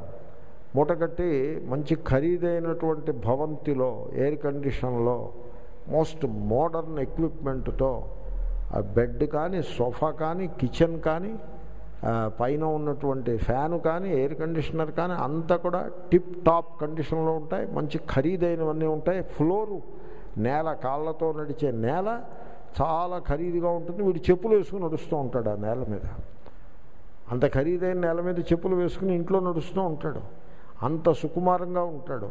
కానీ ఆ దేహాభిమానంతో రోగగ్రస్తుడై ఆ దేహాన్ని చూసుకుని బెంగ పెట్టుకుని బతుకుతూ ఉంటాడు ఈ వాతావరణంలో. Did you notice what I'm saying నేను ఎవరిని నిందించటం లేదు. మానవ స్వభావం ఇలా ఉంది సుమా. ఎందుకంటే వీడు ఈ ఇల్లు ఫ్లోరు గొప్ప ఫ్లోర్ వేయించాడు గొప్ప రూఫ్ వేయించాడు గొప్ప ఎయిర్ కండిషన్ పెట్టాడు బ్యాంక్ అకౌంట్ బాగా భద్ర భద్రం చేశాడు తప్ప దేహాభిమానాన్ని గురించి వాడు అసలు ఏమీ ఆలోచన చేయలేదు. దాని గురించి అసలు ఏమీ never paid attention to that దాంతో ఆ దేహము అది రోగగ్రస్తం అయిపోతుంది ఇంత కులాసా జీవితంలోకి మీరు వెళ్ళిపోతే అది రోగగ్రస్తం అయిపోయి ఆ దేహమే వీడిని he gets trapped in the body. ఆ బాడీలో ట్రాప్ అయి ఉంటాడు. బీపీ ఉంటుంది షుగర్ ఉంటుంది. బీపీ ఇవన్నీ లైఫ్ స్టైల్ నుంచి వచ్చాయి దేహాభిమానం వల్ల వచ్చాయి. బీపీ ఉందంటే అర్థం ఏంటో తెలిసిన? Either you either the person will get heart attack or stroke heart attack వస్తే పుణ్యాత్ముడే. ఎందుకంటే తొందరగా పోతే ఈ పని అయిపోతుంది. స్ట్రోక్ వచ్చిందంటే మటుకు హీజ్ ఇన్ సీరియస్ ట్రబుల్ ఏం దేహాభిమానం అంటే అది అది మహాదోషం. దాని సంగతి చూడండి. ఈ మూటలు కట్టడం కట్టినా పర్వాలేదు కట్టకపోయినా పర్వాలేదు. భోగాలు దాంట్లో అనుభవించాల్సిందేమీ లేదు. దేహాభిమానం సంగతి ఆలోచించండి. కాదు కర్మలు చేసి పుణ్యం అది కూడా కంగారు లేదు. దేహాభిమానం సంగతి సెటిల్ చేయండి. యజ్ఞాలు సోమయాగాలు పెద్ద పెద్ద యాగాలు యజ్ఞాలు చేసిన వాళ్ళు దేహాభిమానంతో గిలగిల్లాడుతూ ఉంటారు మీరు చూస్తే. కాబట్టి దుఃఖము జన్మ దుఃఖం జరా దుఃఖం మృత్యుర్దుఃఖం సర్వం దుఃఖం దేహాభిమానికి. ఎవడైతే గుణాతీతుడిగా ఉండిపోతాడో ఇవి దేహము నేను ఉన్నాను ఇది దేహము. ఇది దేహము ఇది గుణములు సత్వరజస్తమో గుణాలు. నేను ఉన్నాను. అలా ఎవడైతే ఉంటాడో వాడికి జన్మ ఉండదు. అయ్యో జన్మ లేకపోతే birth party birthday party miss అయిపోతాడేమో miss అయిపోతాడు. బర్త్డే పార్టీ మిస్ అయిపోతాడు షష్టి పూర్తి మిస్ అయిపోతాడు సప్తతి పూర్తి సప్తతి పూర్తి అని ఒకటి ఉంది. షష్టి పూర్తే కాదు షష్టి అంటే అరవై. అక్కడ ఒత్తు పెట్టకూడదు. ఒత్తు పెట్టాల్సిన చోట ఎలాగా మానేశారు? కనీసం ఇక్కడైనా ఒత్తు పెట్టాల్సిన చోట ఎలాగో పెట్టట్లేదు. ఇక్కడ ఒక పెట్టకూడదు చోట పెట్టి షష్టి పూర్తి చేసు షష్టి పూర్తి లేదు సప్తతి పూర్తి లేదు. అవన్నీ మిస్ అయిపోతాడు. బట్ మృత్యువు అనేది అసలు it doesn't cross the mind. There is no death అది అనుభవము. దెర్ ఈజ్ నో డెత్ అనేది అనుభవము. There is no death there is no old age there is body అంతే there is body body has its changes అంతే. ఏమండి? ఫ్యాన్కి old age ఉంటుందా? ఉండదు. కానీ ఫ్యాన్ ఆ బాల్ బేరింగ్స్ అరిగిపోతాయి. బాల్ బేరింగ్స్ అరిగిపోయాయి అంటారా? ఓల్డ్ ఏజ్ ఓల్డ్ ఏజ్ వచ్చింది ఫ్యాన్కి అంటారా? ఓల్డ్ అని అంటారు. కానీ ఓల్డ్ ఏజ్ వచ్చిందంటారా? అనరు. కానీ దేహం దగ్గరికి వచ్చేప్పటికి దేహానికి ఓల్డ్ ఏజ్ వచ్చిందంటే కూడా పర్వాలేదు. నాకు ఓల్డ్ ఏజ్ వచ్చిందంటాడు. అది తప్పు. అస్తు కనుక ఈ దుఃఖాల నుంచి అన్నింటి నుంచి కూడా విముక్తుడైపోతాడు. అయిపోతే ఏమంటే అంటే ఒక్కటే మాట అండి దేహమే గుణములు. ఈ గుణములకు అతీతంగా మీరు ఎప్పుడైతే ఉంటారో మీరే దేవుడు. అమృతమశ్నుతే. ఆ అమృతత్వాన్ని పొంది మానవుడు కృతార్థుడైపోతాడు. ఆ విధంగా మీరు ఈశ్వర భావమును పొందవలేను కథమధిగచ్చతి అనే ప్రశ్నకి అది సమాధానం. సో మీరు నేను చెప్పిందే మళ్ళీ ఇంకోసారి చెప్తున్నాను. ఎవడైతే నేను పుట్టాను అనుకుంటాడో ఏమండో మీరు ఏదనుకుంటే అది అవుతారు మీరు. యద్భావం తద్భవతి. మీరు ఏదనుకుంటే అది అవుతారు. ఏమండి మీరు బ్రాహ్మణులు అయ్యారా ఎలా అయ్యారు? నేను బ్రాహ్మణుడను అనుకుని బ్రాహ్మణులు అయ్యారు నేను భా నేను భర్తను అనుకుని భర్త అయ్యారు నేను తండ్రిని అనుకుని తండ్రి అయ్యారు ఆ పాయింట్ అర్థమవుతుందా?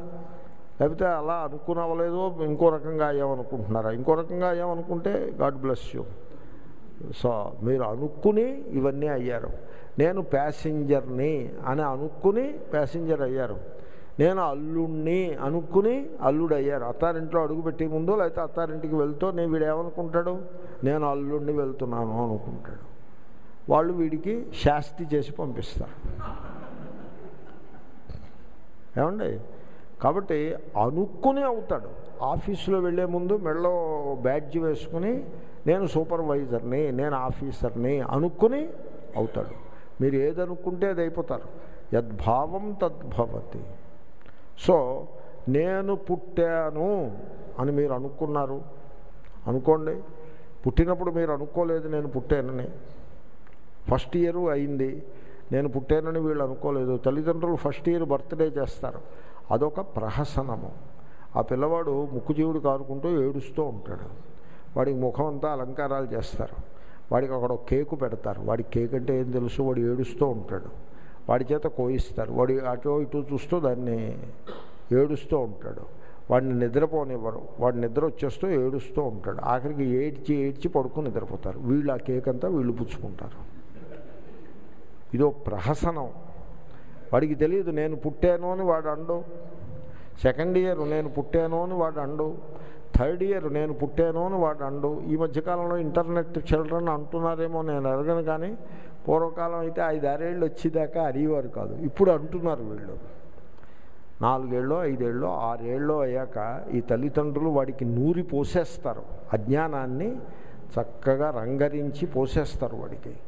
వాడు నేను పుట్టాను అంటాడు. ఎవడైతే పుట్టాడో తాను పుట్టానని ఎవడైతే అనుకుంటాడో వాడికి మాత్రమే ఇంకో రెండు ఉంటాయి. ఏమిటో తెలుసునండి అవి? జరా మృత్యు రెండు ఉంటాయి. ఎవడికైతే తను పుట్టేనో అనేటువంటి అజ్ఞానము లేదో వాడికి జర మృత్యువు రెండు కూడా ఉండవు. ఇది ఒక ప్రశ్న. రెండవది ఇది ఒక అంశము. రెండవది మానవ జీవితంలో అత్యంత దుఃఖకారకమైనవి ఏమిటి? అంటే మొదటిది జర హయ్యెస్ట్ భయము మృత్యువు. ఈ రెండు ఎక్కువ దుఃఖాన్ని ఇచ్చేవి రెండు. కాబట్టి జరా మృత్యువుల నుండి విముక్తి అన్నది జ చాలామంది ఏమనుకుంటారు? ఏదో మంత్రం జపం చేస్తే జరా మృత్యువుల నుంచి బయటపడతాం అనుకుంటారు లేకపోతే ఏదో ఈ కర్మ చేస్తే జరా మృత్యువుల నుంచి బయటపడతాం అనుకుంటారు అరేప నీకు మంత్రం ఇచ్చినవాడు నీకు మంత్రం ఉపదేశించినవాడు జరా మృత్యువుల నుంచి బయటపడలేదు కదా నువ్వెలా పడతావయ్యా? నీ చేత కర్మ చేయించినవాడు వాడు మృత్యువుల నుంచి బయటపడలేదు నువ్వెలా పడతావు? That is not the point ఆ చేసిన కర్మ సఫలమై ఈశ్వరార్పణ బుద్ధితో ఆ చేసిన కర్మ సఫలమైతే మీరు ఈశ్వరార్పణ బుద్ధితో చేస్తే అది సఫలమైతే ఆ మంత్రం మీకు సిద్ధిస్తే మీకు గీత చదువుకోవాలనే సదభిప్రాయం కలిగి అది కూడా కలగదు. ఎందుకంటే పీపుల్ ఆర్ డీప్లీ కండిషన్డ్ అయిపోయి ఉంటారు. కండిషనింగ్. ఇంగువ మూట కట్టిన వస్త్రం ఎలా అయితే ఇంగువ వాసనతో నిండిపోయి ఉంటుందో అలాగే ఈ సంసారులు చాలా డీప్ కండిషనింగ్లో ఉంటారు. వాళ్ళకి మనం ఆత్మతత్వాన్ని అరయాలనేటువంటి వివేకం కూడా ఉండదు. ఒకవేళ అటువంటి వివేకాన్ని మీరు పొందితే మీరు దేహాభిమానాన్ని మీరు శ్రవణ మనన నిధిధ్యాసనములతో చాలా ఒక ప్రయత్నపూర్వకంగా ఈ దేహాభిమానము అనేటువంటి మహా అజ్ఞానాన్ని మీరు దూరం చేసుకోగలిగితే కొద్ది మేరకైనా మీరు ఈ రెండు దుఃఖముల నుంచి బయటపడిపోతారు. జరా మృత్యు. దిస్ ఈజ్ ది లా ఇది ప్రత్యక్ష ఫలము. దీంట్లో నేను చెప్పడం మీరు నమ్మడం ఇదేమీ లేదు. నేను మీరు ఏదీ నమ్మక్కర్లేదు. మీరు వెరిఫై చేసుకోవచ్చు. మీ అంతటా మీరు వెరిఫై చేసుకుని మీరు కం కన్ఫర్మ్ చేసుకోండి. మీరు ఎవరికో గురువు దగ్గరికి వెళ్తారు. ఆయన ఏదో మంత్రం అంటాడు తంత్రం అంటాడు. మీరు నమ్మి ఆయన చుట్టూ కొలిచి వస్తారు. మీకు వచ్చేది ఏమి ఉండదు. ఆ సంసారమే కొనసాగుతూ ఉంటుంది. It is that simple it is ఎందుకంటే ఆత్మవిద్య కోసం చెప్తున్నా. నథింగ్ అదర్ దాన్ దట్ ఆత్మవిద్య అనే దాని మహిమని చెప్పడం కోసం చెప్తున్నా. ఈ కామ్యకర్మలను చేయడం అంత తప్పు పని అదే కానీ ఇంకొకటి లేదు. అది సంసారంలో జనులను కట్టిపడేస్తుంది. అందుకోసం నేను అలా అన్నా. కాబట్టి మీరు ఈ సంగతిని పట్టుకోండి. ఎవడికైతే పుట్టుక గలదో వాడికి మాత్రమే వృద్ధాప్యము మృత్యువు ఉన్నాయి. ఓకే ఉంటే ఉండని ఉంటే ఉండనివ్వడం కాదు. వృద్ధాప్యము is the most is painful death is the most painful మృత్యువులో దుఃఖం ఏం లేదు. మృత్యువు భయంలో ఉంది దుఃఖం అంతా కూడా. సో కాబట్టి ఎవడైతే దేహి దేహ సముద్భవాన్ గుణానేతాన్ అతీత్య దేహ సముద్భవాన్ అంటే దేహ సముద్భవ యశాంతే ఈ దేహము ఇంద్రియములు ఏ గుణముల నుంచి పుట్టినవో అని బహువ్రీహి సమాసం చెప్పుకోవాలి. వాడు జన్మ మృత్యు జలా దుఃఖై విముక్త. ఎలా ఉండాలో తెలుసునండి? జ్ఞానేశ్వరులో అన్నారు. జ్ఞానేశ్వరుడు అన్నాడు ఎలా ఉండాలంటే పక్షి గూడులో చెప్పినట్టున్నాను పక్షి గూడులో పుడుతుంది గూడు. కానీ గూడును విడిచిపెట్టి వచ్చి కొమ్మ మీద కూర్చుని ఆకాశంలో ఎగురుతుంది. అలాగే పుట్టినప్పుడు ఈ గూడుతో పుడతాము. తర్వాత జ్ఞానము చేత ఈ గూడును విడిచి బయటకు వచ్చి అనంత ఆకాశంలో ఆత్మ చైతన్య రూపంగా విహరించి వీడు మోక్షాన్ని పొందుతాడు. కాబట్టి దేహాభిమానము దాని నుండి పుట్టే కామనలు కోరికలు భయములు. ఇది పెద్ద సంసారం. మీరు జాగ్రత్తగా ఆలోచిస్తే మీకు అర్థమవుతుంది. దేహాభిమానము లేకుంటే కామనలు ఉండవు. భయాలు ఉండవు ఇప్పుడు భయాలన్నీ ఏమిటి? జనాల్లో ఉండే భయాలని మీరు చూడండి. ఏమిటి భయాలు? అన్ని దేహాభిమానము అనేటువంటి ఆ విషవృక్షము యొక్క ఫలములు ఇవన్నీ కూడా. ఇవి కామనలు భయములు. అన్నీ కూడా విషవృక్షము దేహాభిమానము అనే విషవృక్షము యొక్క ఫలములే. మీకు ఎప్పుడైతే దేహాభిమానం లేదో అప్పుడు కామనలు ఏమీ ఉండవు. కామనలు ఏమీ ఉండవు. దేహంతో జరిగే వ్యవస్థ జరుగుతూ ఉంటుంది. కామనలు అంటే డిజైర్స్ అవేమీ ఉండవు. తర్వాత భయములు ఏమీ ఉండవు. కాబట్టి ఏమైంది అక్కడికి? దేహాభిమానము లేదు. దానివలన మృత్యువు జర దుఃఖము పోయింది. కామనలు భయములు పోయాయి. అటువంటి వ్యక్తి వాడే దేవుడు. వాడే ఆత్మజ్ఞాని వాడే దేవుడు. మద్భావం శోధిగచ్చతి. అది దాని వ్యవస్థ. భాష్యం అనేసిద్దాము. మొత్తం శ్లోకమంతా బాగా కవర్ అయింది. భాష్యం చదివేస్తే పని అయిపోయింది. గుణానేతాన్ యథోక్తాన్ అతీత్య చూడండి మీరు ఈ గుణములను దాటి వెళ్ళిపోవాలి. అతీత్య. ఈ సత్వరజస్తమో గుణాలని దాటి వెళ్ళిపోవాలి. దాటి వెళ్ళిపోవాలంటే మీరేదో కాశీయాత్ర చేస్తే దాటి వెళ్ళిపోతామో లేకపోతే రామేశ్వరం వెళ్ళొస్తే దాటి వెళ్ళిపోతామో it is not like that లేకపోతే దేహత్యాగం అయిన తర్వాత అలా విమానం వస్తుంది అప్పుడు దాటి వెళ్ళిపోతాము. ఇట్స్ నాట్ లైక్ దాట్ ఎప్పుడో కాదు. ఇప్పుడు జీవన్నేవా బతికి ఉండగా ఇప్పుడు. ఇది వేదాంతం అన్నది ఇప్పుడు ఇక్కడ. దీని సద్యఫలము ఇప్పుడు ఇక్కడ. ఇప్పుడు మీరు కాఫీ తాగారు. కడుపులో మంట వచ్చింది. ఈ కాఫీకి మంటకి సంబంధం కారణకార్యభావం అది మీకు తెలిసిందే. మీకు తెలిసింది లేకపోతే ఎవడో చెప్పాడు. కడుపులో మంట వస్తుందండి అన్న డాక్టర్ దగ్గరికి వెళ్ళి. కాఫీ తాగుతారా అంటే తాగుతాను. అవు అవునండి ఇప్పుడే తాగాను ఇప్పుడే వచ్చింది మంట. కరెక్ట్. కాఫీ వల్ల మంట వచ్చింది. నువ్వు కాఫీ మానేయి. మానేస్తే మంట ఎప్పుడు పోతుంది? మళ్ళీ జన్మలో పోతుందా? లేకపోతే స్వర్గానికి వెళ్ళకపోతుందా ఇప్పుడే పోతుంది. ఇది వేదాంతం. Vedanta is the science of life మళ్ళీ జన్మలో పోవడం కాదు ఇప్పుడే పోతుంది. ఇప్పుడు ట్యాబ్లెట్ వేసుకున్నారు జ్వరం వచ్చింది ఇప్పుడు ట్యాబ్లెట్ వేసుకున్నారు. మంద జ్వరం ఎప్పుడు తగ్గుతుంది? మళ్ళీ జన్మలో తగ్గుతుందా? ఇప్పుడే తగ్గుతుంది.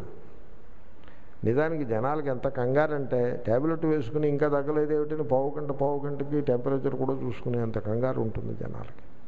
ఈ జ్ఞానం అట్టిది. జీవన్నేవా బతికుండగానే అతిక్రమ్య. వాటిని దాటేసేయచ్చు ఆ గుణాలని దాటేసేయచ్చు. ఎందుకో తెలుసిన? మాయోపాధిభూతాన్. ఈ గుణములు మీకు స్వతహాగా ఉన్నవి కావు. ఇవి వచ్చాయి. ఇవి పెట్టుకున్నారు మీరు స్వతహాగా ఉన్నవి కావు. ఇప్పుడు ముఖానికి రంగు వేసుకుంటారు ఈ నటన చేసేవాళ్ళు. ఆ నటన అయిపోయిన వెంటనే ఏం చేస్తారు?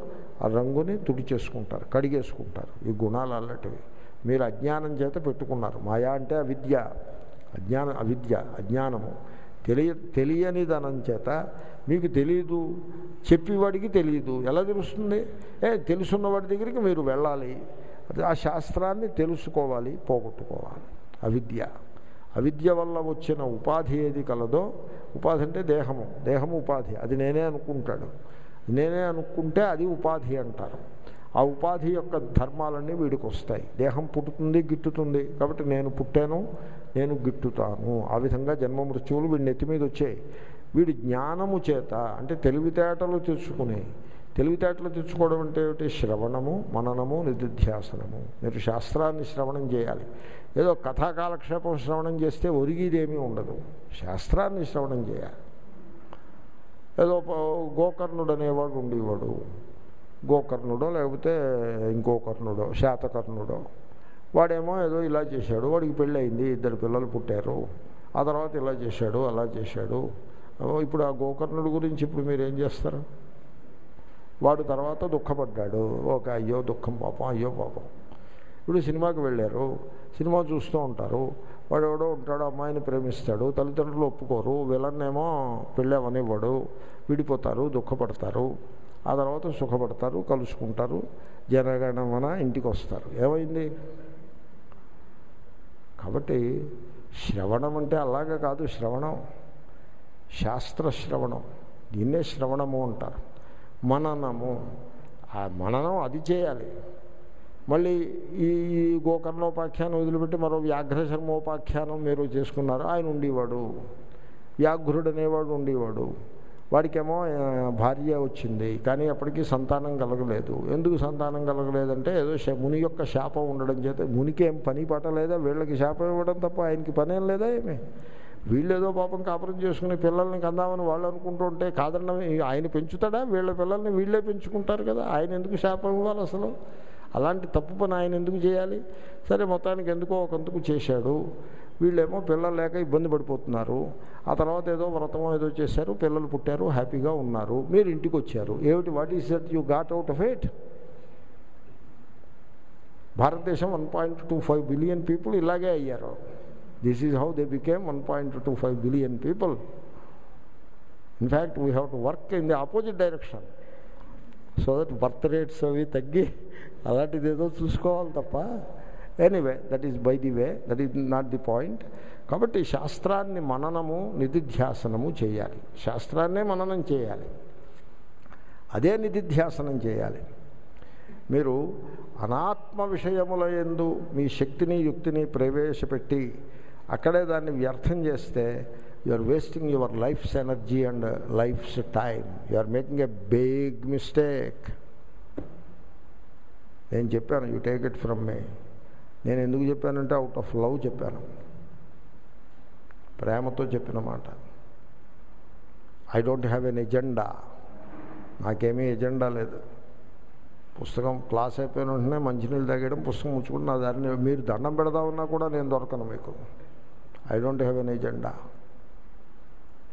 కాబట్టి యు నో ఇట్. మాయోపాధి భూతాన్. అజ్ఞానం అనేటువంటి ఉపాధి వల్ల వచ్చినటువంటి దోషములను మీరు get rid of them now. త్రీన్ అవి గుణములు మూడు. దేహీ దేహమునందు ఉండేవాడు. మీరు దేహి. చూడండి మీరు డిస్కవర్ చేయాలి. మీరు డిస్కవర్ చేయాలి. డిస్కవరీ. డిస్కవరీ అనేది you have to understand that. మీరు కనుక్కోవాలి. ఇప్పుడు పిల్లవాడికి నిప్పు కాలుతుందని తెలియదు దీపం మీద చేపెడతాడు డిస్కవర్ చేస్తాడు. లేకపోతే తల్లి గమ్ముని చేయి అడ్డు పెడుతుంది. నువ్వు ముట్టుకోకు నిప్పు కాలుతుంది. ఏదో రోజు తల్లి చెప్పిన మీదటో లేకపోతే వీడి అనుభవాన్ని బట్టో వాడు డిస్కవర్ చేస్తాడు. ఏమైనా డిస్కవర్ చేస్తాడు? నిప్పు కాలుతుంది అని డిస్కవర్ చేస్తాడు. తర్వాత పిల్లవాడికి ఆకలి వేస్తూ ఉంటుంది. ఏడుస్తాడు. నొప్పి ఆకలి అంటే అదొక పీడ ఏడుస్తాడు. కానీ పాలు తాగిపిస్తే తాగడు. ఆకలి వేస్తే మరి పాలు తాగద్దు. పాలు నోట్లో పోస్తే బయటికి పోస్తాడు తప్ప తాగడు. అప్పుడు తల్లి ఏం చేస్తుంది? ఆ పాలని కొంచెం వాడు బయటికి త్రోసేయటానికి వీలు లేని విధంగా ముక్కు మూయడం ఏదో చేస్తుంది. ఆ పాలు కొంచెం లోపలికి వెళ్తాయి. వెళ్తే వాడికి ఆకలి తగ్గుతుంది. He discovers that is the discovery పిల్లవాడు డిస్కవర్ చేస్తాడు. చాక్లెట్ ఇస్తే ఇలా ఇలా అని అవతల పారేస్తాడు. నేలంతా చేస్తాడు ఆ చాక్లెట్ని. కానీ ఇన్ డూయింగ్ సో దాంతో ఆడుతున్నప్పుడో ఎప్పుడో అది పెదవికి తగిలి ఆ తర్వాత నాలుగుకి తగిలి అంటాడు. He discovers. Something. Like that you have to discover. You have to discover it. ఏమిటి డిస్కవర్ చేయాలి? What all you are not you have to discover. మీరు ఏది ఏది కాదో మీరు డిస్కవర్ చేయాలి. దేహము నేను కాదు యు టు డిస్కవర్. పుట్టినవాడను నేను కాను గిట్టబోయేవాడను నేను కాను. బ్రాహ్మణుడను నేను కాను క్షత్రియుడను నేను కాను వైశ్యుడను నేను కాను పంజాబీని నేను కాను మద్రాసీని నేను కాను తండ్రిని నేను కాను తల్లిని నేను కాను కొడుకును కాను. ఇవేమీ నేను కాను. మరి నేనేమిటి? That is not important it can wait you have to discover what all you are not then what all you are not body దేహము నేను కాను ఇమోషన్స్ నేను కాను పుట్టుక గిట్టుట నేను కాను తర్వాత ఐడియాస్ ఎవేవో ఐడియాస్ ఉంటాయి పిచ్చి పిచ్చి ఆలోచనలు పిచ్చి పిచ్చి అభిప్రాయాలను. అవన్నీ నేను కాను దేశము నేను కాను కాలము నేను కాను నేను కలియుగానికి చెందినవాడిని కాను నేనేమో ఆంధ్రప్రదేశ్కి చెందినవాడను తెలంగాణకు చెందినవాడను కాను. దేశము నేను కాను కాలము నేను కాను. ఒక ఆయన అన్నారు ఏమిటో కలియుగంలో పుట్టేవండి కృతయుగంలో పుట్టి ఉండాల్సిందే అని you are you are wrong నువ్వు ఈ రోజు నుంచి సత్యం పలుకు ధర్మాన్ని అనుష్ఠించు. రామనామం జపం చేయి ఆత్మధ్యానం చేయి. అదే కలియుగం అదే కృతయుగము. అవసరాన్ని బట్టి సత్యము అవసరాన్ని బట్టి అసత్యం పలుకుతూ ఉండు. అదే కలియుగము కాబట్టి you have to discover all that. So therefore అలా డిస్కవర్ చేయాలి. అలా ఎలాగ డిస్కవరీ ఎలా వస్తుంది? How to discover that? Witness. నేను చేతనుడను. అయాం అహమస్మి. నేను ఉన్నాను. ఎందుకంటే ఉనికి తన స్వరూపం. నేను ఉన్నాను. ఇది దేహము. అని సాక్షి రూపంగా యు డిస్కవర్ ఇట్ దేహీ దేహ సముద్భవాన్ దేహోత్పత్తి బీజభూతాన్. అంటే బహువ్రీయ సమాసం చెప్పారు. దేహ సముద్భవ ఏభ్య వేటి నుండి అయితే దేహం పుట్టిందో తే. అంటే అర్థం ఏంటి? దేహము పుట్టుటకు బీజములు దేహము అంటే స్థూల సూక్ష్మ దేహాలు అంటే తమోగుణం ఉన్నది. తమోగుణం అంటే వెయిట్ డెబ్భై కేజీలు తమోగుణం నేను వేగంగా పరిగెత్తుతాను రజోగుణము. నేను ఎంఏ పిహెచ్డి సత్వగుణం. మూడు. ఓకే? కాబట్టి ఈ గుణములను మీరు అతీత్య దాటి వెళ్ళిపోవాలి. ఇప్పుడు నవ్ అండ్ హియర్. నిజానికి మీ మైండ్ శాంతముగా ఉందనుకోండి క్వాయిట్. నిశ్శబ్దంగా లోపల నిశ్శబ్దం బయట కాదు లోపల బయట ఉండాలి లోపల. నిశ్శబ్దంగా ఉందనుకోండి అప్పుడు మీరు దేహము కాదు ప్రాణము కాదు మనస్సు కాదు. మీ మనస్సు నిశ్శబ్దంగా ఉన్నప్పుడు మీకు పుట్టుక గిట్టుట ఉండవు సుఖము దుఃఖము ఉండవు ఏమీ ఉండవు. మనస్సు చలనాన్ని బట్టే ఇవన్నీ వస్తాయి. అప్పుడు మీ మనస్సు నిశ్శబ్దంగా అదే ధ్యానము మెడిటేషన్. మనస్సు నిశ్శబ్దంగా ఉన్నప్పుడు మీరు గుణములకు అతీతులై ఉంటారు. అయితే ప్రారంభం ఏమిటంటే ఇరవై నాలుగు గంటల్లో ఇరవై మూడు గంటల యాభై ఐదు నిమిషాలు గుణాల్లో మునిగిపోయి ఉంటాడు. ఐదు నిమిషాలు గుణాలకు అతీతుడై ఉంటాడు. అది సమస్య. దాంతో ఏమనిపిస్తుంది? గుణాభిమానమే సత్యమని గుణాతీత స్థితి ఎక్కడో ఉంది మనం పట్టుకోవాలనే అనిపిస్తుంది. కానీ మీరు నిశ్శబ్దంగా ఉండడం ప్రాక్టీస్ చేయండి ధ్యానం చేయండి శాస్త్రశ్రవణము మననము చేస్తూ ధ్యానం చేయండి. మీ మనస్సు నిశ్శబ్దంగా ఎప్పుడైతే ఉంటుందో ఆల్రెడీ మీరు గుణాల నుంచి బయటకు వచ్చేసారు అప్పుడు మీరు డిస్కవర్ చేస్తారు. You discover you try it. మీరు డిస్కవర్ చేస్తారు. ఏమని డిస్కవర్ చేస్తారో తెలిసిన? I'm not the body. I'm the witness. అని డిస్కవర్ చేస్తారు. I'm not the body. Eureka అంటారు. It's a discover Archimedes discover చేశాడు.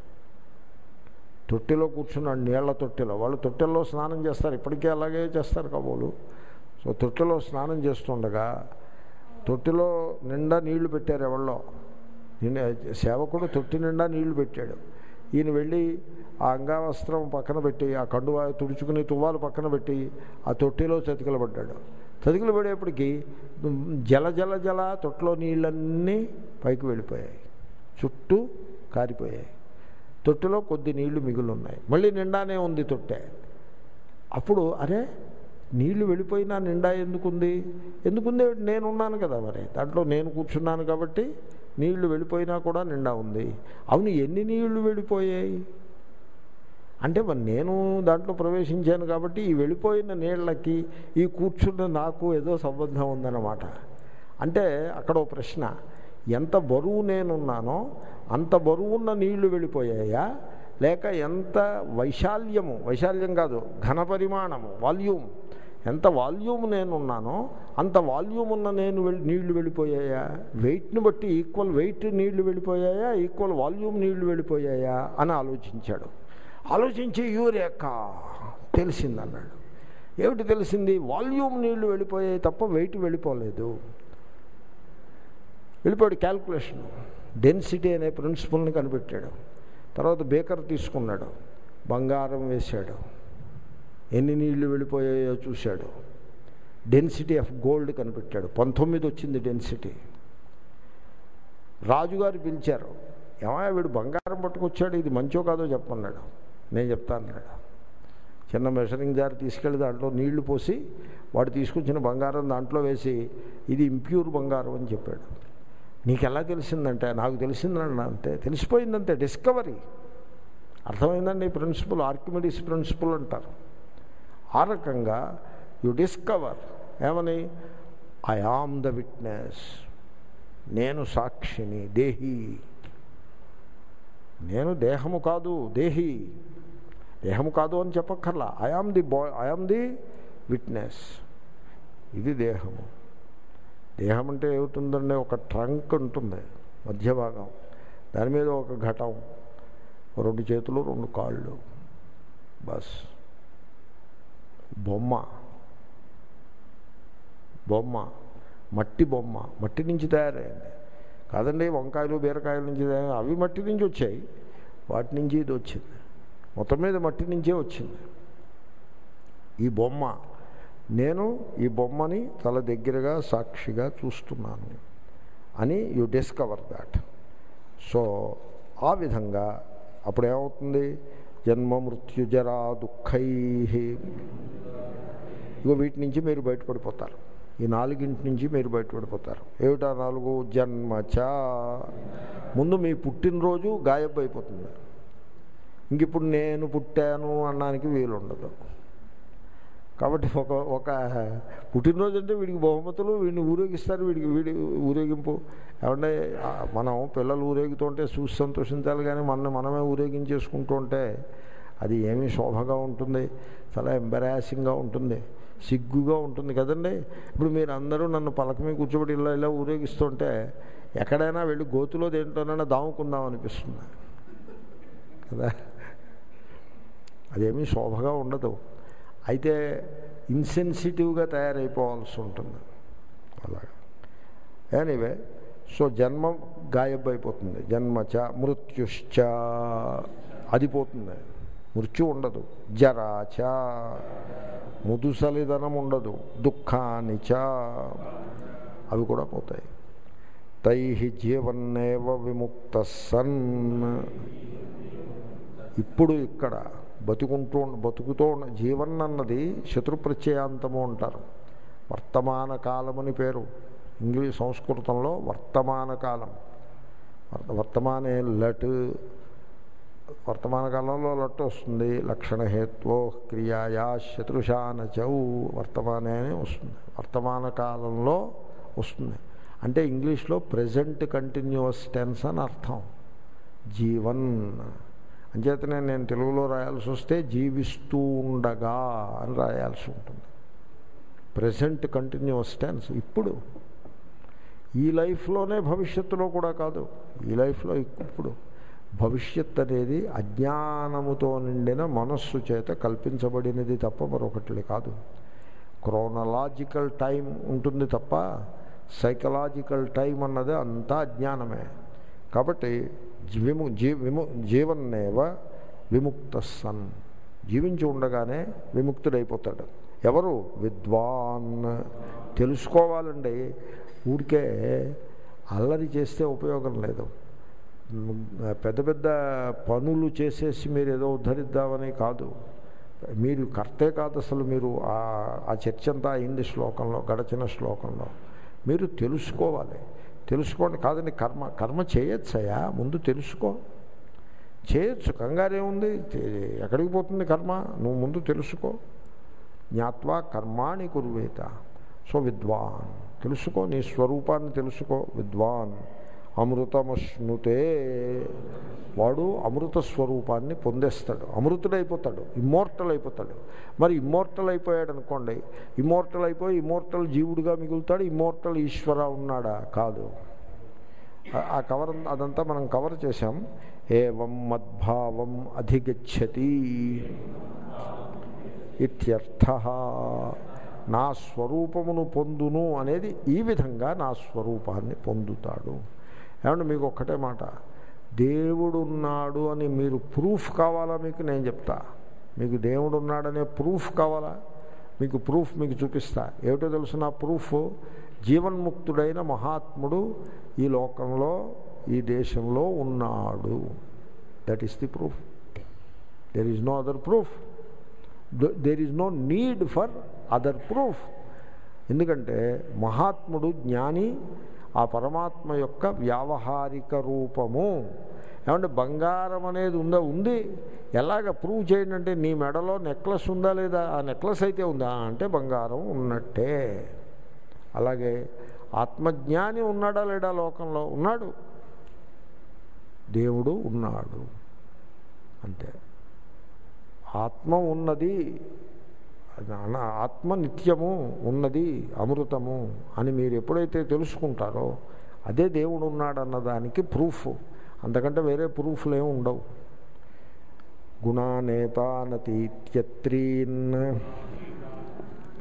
దేహీ దేహ సముద్భవాన్ జన్మ మృత్యుజరా దుఃఖై విముక్తో మృతమశ్నుతే